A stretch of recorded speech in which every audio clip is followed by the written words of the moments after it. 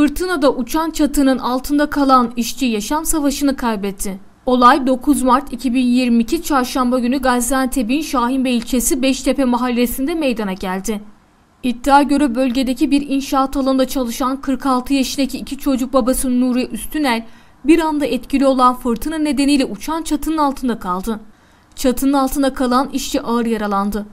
Olay yerine gelen sağlık ekipleri tarafından ilk müdahalesi yapılan yaralı işçi özel bir hastaneye kaldırılarak tedavi altına alındı. 18 gün boyunca tedavi gören Nuri Üstünel, gece saatlerinde yapılan tüm müdahaleye rağmen kurtarılamayarak yaşam savaşını kaybetti. Hayatını kaybeden talihsiz işçinin cenazesi, Gaziantep Adli Tıp Kurumu'nda yapılan işlemlerin ardından defnedilmek üzere yakınlarına teslim edildi. Olayla ilgili soruşturmanın sürdüğü belirtildi.